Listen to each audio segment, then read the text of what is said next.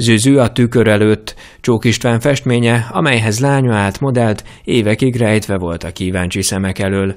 Számos más műhöz hasonlóan ezt is egy magángyűjteményben őrizték.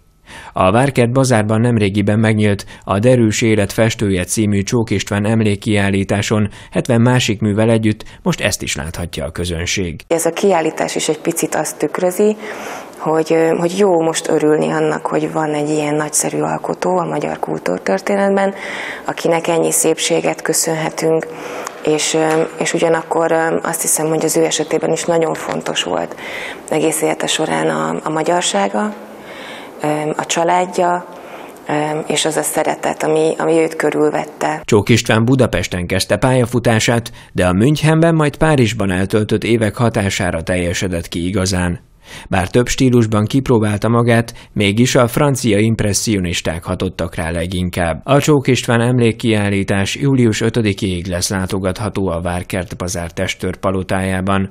Az emlékévhez kapcsolódva további programokkal is készülnek a szervezők.